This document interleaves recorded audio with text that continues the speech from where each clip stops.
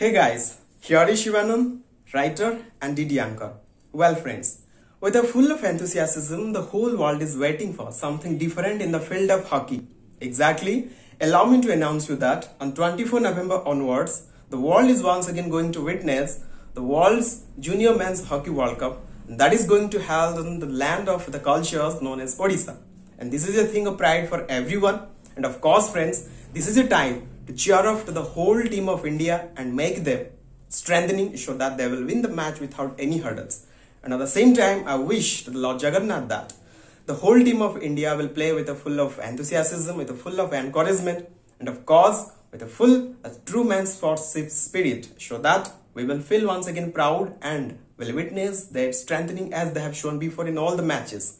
Exactly, friends. Once again, Chak the India, Chak the Odisha. ଏଇଟା ଓଡ଼ିଶା ପାଇଁ ବହୁତ ଗୌରବର କଥା ଆଉ ଆମ ପାଇଁ ବହୁତ ସୌଭାଗ୍ୟର କଥା କି ବିଶ୍ୱ hockey match world cup November ଚବିଶରେ ଅ, ରାଜଧାନୀର କଳିଙ୍ଗ ଷ୍ଟାଡିୟମରେ ହେବାକୁ ଯାଉଛି ଯେଉଁଥିପାଇଁ ଯୁବପିଢ଼ି ବହୁତ ଉତ୍ସାହିତ ଅଛନ୍ତି ଆଉ ସାରା ୱାର୍ଲଡର ନଜର ରହିବ ଓଡ଼ିଶା ଉପରେ ଆଉ ଭଗବାନଙ୍କ ଆଶୀର୍ବାଦ ଜଗନ୍ନାଥଙ୍କ ଆଶୀର୍ବାଦ ଆଉ ସାରା ଦେଶବାସୀଙ୍କ ଆଶା ନିଶ୍ଚୟ ଇଣ୍ଡିଆ ଭଲ ପ୍ରଦର୍ଶନ କରିବ ଆଉ ସଫଳ ହେବ ନମସ୍କାର ଆପଣମାନେ ସମସ୍ତେ ଜାଣିଥିବେ ଓଡ଼ିଶାରେ ନଭେମ୍ବର ଚବିଶରେ ଜୁନିୟର ମେନ୍ସ ୱାର୍ଲଡ କପ୍ ଆରମ୍ଭ ହେବାକୁ ଯାଉଛି। ସବୁଠୁ ଖୁସିର କଥା ହେଲା ଓଡ଼ିଶାର ସୁନ୍ଦରଗଡ଼ରୁ ତିନି ଜଣ ସେଥିରେ ପ୍ରତିନିଧିତ୍ୱ କରିବେ ଭାରତ ତରଫରୁ ଏବଂ ଓଡ଼ିଶା ହକିକୁ ପ୍ରୋତ୍ସାହିତ କରିବାର ବିଚାରଧାରାରେ ଆଗେଇ ଯାଉ। ଆମେ ପ୍ରଭୁ ଜଗନ୍ନାଥଙ୍କ ନିକଟରେ ପ୍ରାର୍ଥନା କରିବା ଏ ବିଶ୍ୱକପ୍ରେ ଭାରତ ବିଜୟ ହେଉ।